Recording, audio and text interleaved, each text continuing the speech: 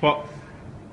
Alors Luis, euh, tu nous dis euh, ce que tu penses du Bargibus 2012, le nouveau millésime Euh, je pense, euh, avant de parler de 2012, je vais parler de l'aventure Bargibus et euh, ce, ce défi courageux que les propriétaires ont, lancé il y a quelques années. Euh, je trouve que c'est une preuve de, courage et c'est une autre preuve que dans cette région du monde, on sait faire autre chose que, autre chose se battre.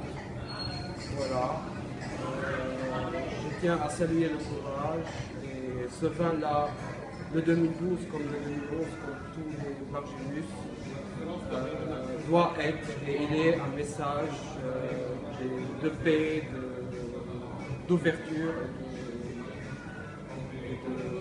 de, de- civilisation. Là où il y a la ville, il n'y a pas de guerre, il n'y a pas de civilisation, il n'y a pas de, barbarie.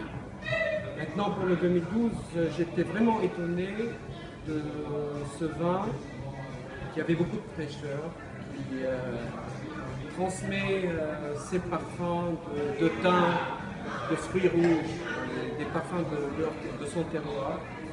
Euh, j'étais vraiment étonné de la fraîcheur et euh, de la qualité des tanins, de la souplesse des tanins. Vraiment, c'est quelque chose qui m'a vraiment surpris dans le bon sens.